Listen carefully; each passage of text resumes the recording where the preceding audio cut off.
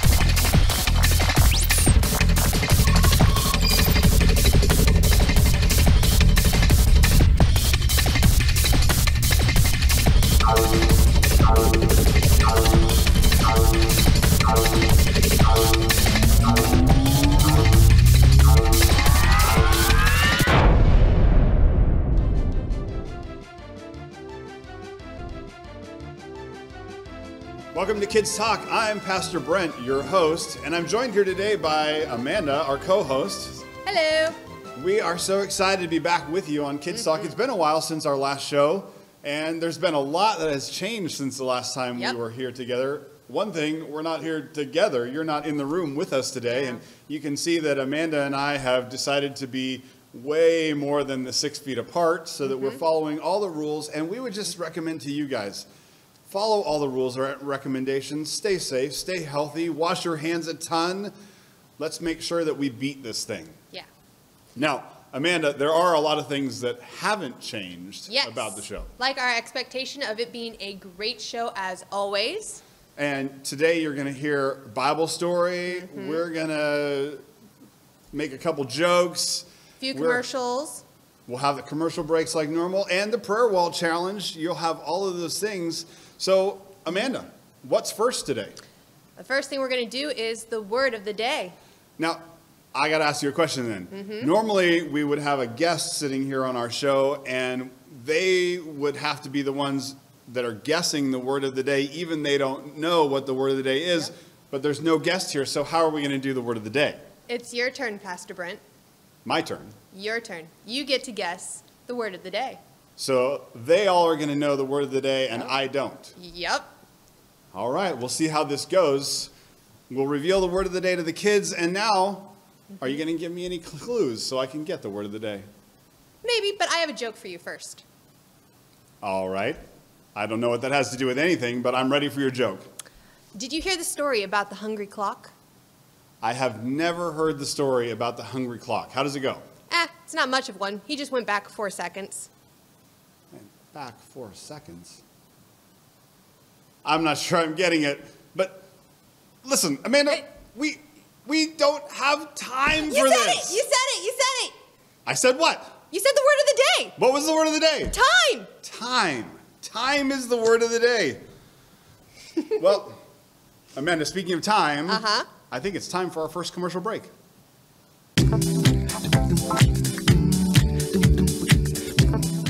Hey Westgate kids, as you can see, I have our prayer wall behind me. There are lots of good verses on prayer. Keep posting the prayer verses that you find. You should have a Bible with you now at home. take a minute, look through, and find it. If you find a verse, post it on Facebook with your name so that we can put it on a paper for you and put it up on our wall. We want to keep building our wall, and we want you guys to try to beat us to the verse of the day challenge, which is the colored ones. Now, are you ready for our verse of the day? Our verse of the day is Luke 10 2. And these were, the, were his instructions to them The harvest is great, but the workers are few. So pray to the Lord who is in charge of the harvest. Ask him to send more workers into the field.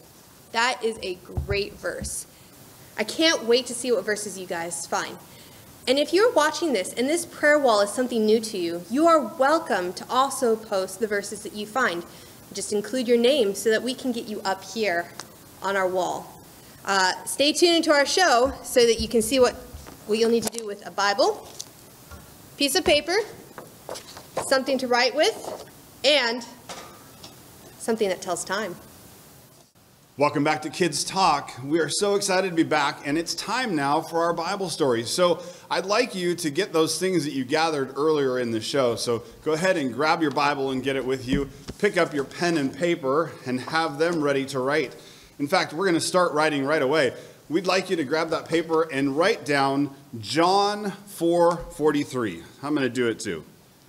John 4 verse 43. Now that's where we're going to start today. So grab your Bibles and open them to the book of John. That's in the New Testament. So, John, the fourth chapter, and verse 43.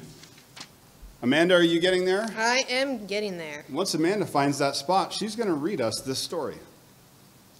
John 4 43. Chapter 4. At the end of the two days, Jesus went on to Galilee.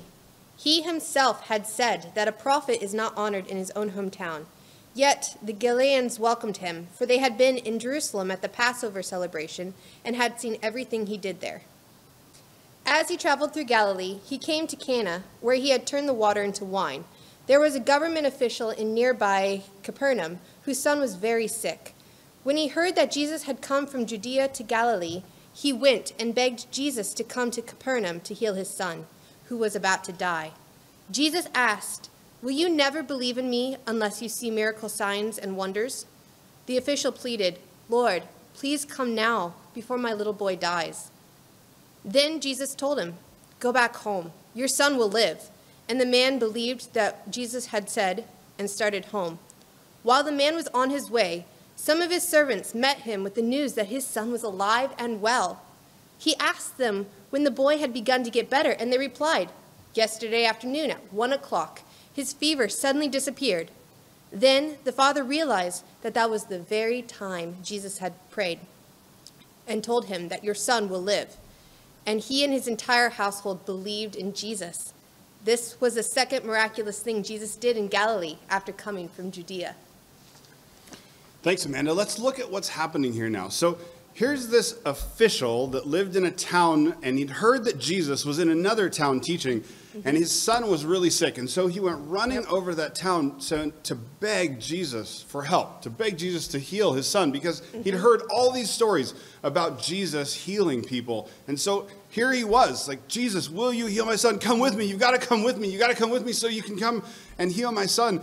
And, and he had no idea what was about to he- happen. Right. That's, I think he only had one thing on his mind, and that was his son. Like, he wanted his son to be healed. There was no, like, worrying about anything. Now, Jesus asked him a couple questions, yep. right? Mm-hmm. And then he just made a simple statement. Mm-hmm. Now, kids, pull out that piece of paper again, and what I want you to write down is just one simple word to start this out. Now, it, it, may not seem like it, but remember, this man was talking with Jesus, and we've talked all year long about prayer is just having a conversation with God. And so this man was effectively praying right now. So we're mm-hmm. going to write down on our papers just the word pray. So go ahead and write that down with me P R A Y, pray. You see, we can come to the Lord and we can ask Him for anything. We can pray for healing for our family, for our friends, just like this man came and asked for healing for his son. And Jesus is there to do it. I mean, He's Yep. ready to listen to our prayers and answer them. Mm-hmm. Now, this boy, he had no idea that his dad was even doing this, that his dad was asking Jesus for prayer. Mm-hmm. And the amazing thing here is that when the dad gets back Mm-hmm. to where his son was, he was healed. Now, Jesus didn't have to come with him and lay his hands on him. He didn't have to be there physically right with him. The dad wasn't there physically with the boy. The boy was healed. And in fact, like so cool that it was exactly the same time when this was happening. It was even it was the day before. Like he didn't even come home on the same day, and it was like a gradual. Oh, he's better. It was at one o'clock. The fever left. He was better. Like instantly. I, I don't know about you, but I don't recover instantly when I feel bad. So that's pretty cool. It's really cool. Now, this is actually really good news for us right now because we all know that we don't get to go be with other people right now. We're all having to be at different distances away. So, people that I'm praying for right now, I need to be mm-hmm. able to pray for them without being right there with them. And so, this is really encouraging to me. So, grab your piece of paper again, and we're going to add two more words to it. So, now on we're going to write four people. right? Four people. Now, also, I want you to grab that timekeeping device that you got earlier. I've got mine right here on my wrist. And I'd like you just to take a look at it and see if you can find one o'clock on your timekeeping device. That's why we wanted them to not be digital, right? Mm-hmm. So we could see one o'clock. Find one o'clock on it. It's pretty cool to me that the man got home and matched up the time that his son was healed exactly with the time that Jesus had spoken that word of healing over his son. And mm-hmm. it just it, like it amazes me that that Jesus is not bound by any of these other No. restrictions that we're bound by. He's not. He he didn't come to do tasks and be like time constraint things. He he came he came for the people, and and how you know time is helpful. Like in the Bible, that was a really cool thing to see. That it was encouraging. That it said you know. At one, prayed, and at one, the son was healed, even though they were not in close proximity. And so that's something that we can take, just be excited and, and be encouraged by. All right, so pick up your pieces of paper again. We're going to write down two more words. Our next two words are even when. So I'm writing down even when. Now, Amanda, mm-hmm. that leads me to our second story. Okay. If we if we jump now in still in the book of John, mm-hmm. we're going to flip forward a few pages to John chapter 17. So go ahead, go ahead, pick up your Bibles with me again, kids, and move move a few pages till you find John chapter 17. And then we're going to start in verse number 20. John chapter 17, verse 20. And John 17 is honestly one of my favorite spots in the Bible, really one of my favorite passages in the Bible, because I love seeing how Jesus himself prayed. Mm-hmm. This is an example of Jesus praying. So, So this is Jesus actually praying. This is what this is saying. that's what this is. Hmm. All right, so let's go ahead and I'll just describe this story to you. Jesus had just finished praying for himself, his, and then he prayed for his disciples, and then he jumped into praying for us, mm. which I think is really cool. And, and I'll just read you a couple things out of it real quick. He says, I'm praying not only for these disciples, but also for all who will ever believe in me through their message. I pray that they will be one, just as you and I are one. As you're in me, Father, and I am in you, may they be in us, so that the world will believe you sent me. So Pastor Brent, when it says for all who will ever believe in me, is does that you mean you and me? Like is Jesus praying for us? Like, Yes. us? That's that's the thing. Jesus is praying for us, and remember, he was here on earth 2,000 years ago when this was recorded. And now he was praying for us, which I think is really cool. Now, again, that means that the prayers of Jesus are not bound by time, oh, yeah. like, like we might think it. So he was praying for us, and, And here's what he says about us He says, I have given them the glory that you gave me so that they may be one as we are one. He's talking about unity, that we're supposed to be mm. together, that we're supposed to do these things together. He says, mm. I am in them and you are in me. May they experience such perfect unity that the world will know that you sent me and that you love them as much as you love me. Father, I want these whom you have given me to be with me where I am. Then they can see all the glory you gave me because you loved me even before the world began. So we're seeing the whole story here. This is the whole story of, of, of God working through all of creation and having Jesus here in a moment of time, and then Him praying for us in the future. So I think it's pretty amazing thing because I don't know what's going to happen in the future. Do you know what's going to happen in the future? I don't know what's going to happen in the future. No, but Jesus does. And, and That's he, cool. he knew who he was praying for. He knows each of you by name. And if you believe in him, you're included in his prayer that's recorded right here in John chapter 17. Again, I think that's pretty amazing Mm-hmm. to think that Jesus is praying for me when he was here on earth. So So, Pastor Brent, that means that he's also praying for them, right? He, he's praying for everyone that we know, everyone that we see. He's praying for everyone and not in just like a general thing. He, he knows us and he loves us. So, did you guys know that Jesus was praying for you? Maybe you did, maybe you didn't. Grab your pieces of paper again and those pencils, and I'd write, like you to write down one more thing. It's four words this time. This time you need to write down, they don't know it. So I'll write it down, they don't know it. See, Jesus wasn't trapped by time. He was not. He came for people. He didn't come just to do a few things that seemed cool. His heart was for people. He loves people. He loves you guys so much that he even prayed for you while he was while he was here on earth.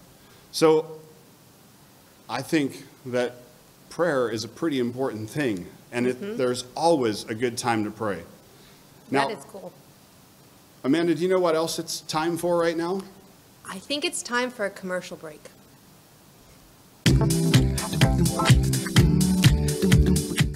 Hey guys and girls, it's Marina here. Um, I'm gonna be cooking here a little bit, but before I start that, I just wanted to tell you, can't do it without my clock. And I know you all had to go and grab your clock. So let me tell you why I use this thing for. You see? You see that red line right there? That's how many times I've burnt my food. And so today, as I start dinner, I hope not to move that forward. And, well, see that one line right there? That's how many times I didn't burn my food. So let's start. Today, I heard that chefs put on some chef hats, I'm guessing any hat will do, so I'm just going with what I have here. And I'm really glad that when you're starting to cook, you get an outfit going, they give you a cape, and you really feel like you're in the swing of things here. I'm pretty sure this is how you put it on. I'm guessing this is for fire hazards, and man, I'm guessing this hat is too. So, this is what I'll do here. So, today, uh, today I'm starting some Olive Garden pasta. And I'm guessing all I have to have is some pasta. It's Olive Garden pasta. And some olive oil. And since that's all I really need, I'm going to start cooking right now and see how it goes. Oh no. Oh no.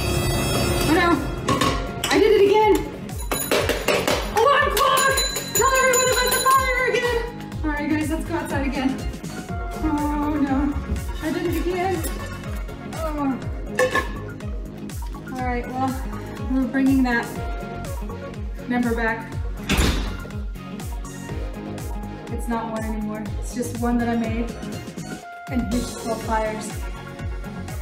Yeah, that's what I use my clock for. What do you guys use yours for? Let me know and send videos and tag Westgate Kids, okay? Just let me know. Maybe we're in this together. All right, bye. Well, welcome back. Uh, Amanda, would Mm-hmm. you remind me that if we get invited to Marina's house for dinner, we should just turn that one down? Maybe not ask for pasta. I think that might be a good suggestion. Now, kids, go ahead and grab those pieces of paper and let's look at them. After you've written all those words down together, it should point out our point of the day for today. So we can read it together. Uh, like mine. Pray for people even when they don't know it. And I think that's a great thing for us right now. There's times, a lot of people that I've been praying for. In fact, this morning I emailed a friend of mine and just said I was continuing to pray with him for his brother in law, who I've never met before. So he certainly wouldn't know that I'm praying for him. Mm-hmm. And I think we have these chances to pray for people even when they don't know it. And those pr- prayers are powerful they're effective. Mm-hmm. And I'd like you kids to just think through that. Who can you be praying for, even if they don't know you're praying for them? Mm-hmm. I think there's people that in your family, your friends who you may not get to see as often as you once did. Uh, I think you could even just take a walk with your family and people that pass you on the streets or you see them in their yards. I think you could just really you pray for anyone that comes into your mind or that you can see. And here's the thing when we pray for people, we can believe mm-hmm. that Jesus will be answering. Just like he told that man to go home, your son is healed. When we pray, let's pray with the belief that Jesus is going to answer these prayers. And so here's what we're going to do we're going to leave you with a little challenge today, mm-hmm. and we're going to give you some opportunities to pray with your family and for other people. But before we do that, you need to take your papers and we're going to write one more thing down. And if you're like me and you wrote really big, you're going to have to flip over to the back side of the paper. So the last thing I want you to write down today is that thing we've said every single week of the year, and that's that mm-hmm. prayer changes things. So I'm going to write it nice and big on my paper. Prayer changes things. And there I have it, Amanda. Yeah. Prayer changes things. We believe this. We believe it for your lives and the people yes. that you come in contact with. And so let me just pray over you real quick as we get ready to mm-hmm. finish our show today. Lord, I thank you for each and every one that's watching right now. But I thank you that you have prayed for us and that we get to come to you, just like the man in the story, and pray to you and ask you for things and believe that you're going to answer those prayers. And so, Lord, would the prayers of each of these kids be effective, Lord, as they get to know you more and talk with you and watch you do the incredible things that you've done all throughout history. Lord, we love you. We thank you for all of this. In Jesus' name, amen. Amen. All right, now, parents, here's your piece. So, kids, get your parents' attention real quick because they want to see this. We're going to give you a little challenge for this week, and it's a prayer challenge. So, here's what we'd like you to do why don't you take time to create a family prayer list? Who can you be praying for as a family? Mm-hmm. Plan a prayer walk where you can go walk through your neighborhood and just like you normally would talk as you're walking down the street, as you pass different houses, pray for the people in their houses. They won't think you're crazy, they'll just think you're talking. It's true. Uh, you could drive if you're going to the grocery store, mm-hmm. which is one of the few things you can do right now. You could pray for people as you go to the grocery store. Mm-hmm. Listen, we know that prayer works even if people don't know it. Yes. And we know that prayer changes things. I mean, Jesus has been praying for over 2,000 years for us this day, and we didn't always know it or always remember it. So keep praying. All right, that's the end of our show for today. Remember, prayer changes things. We will see you next time. Bye.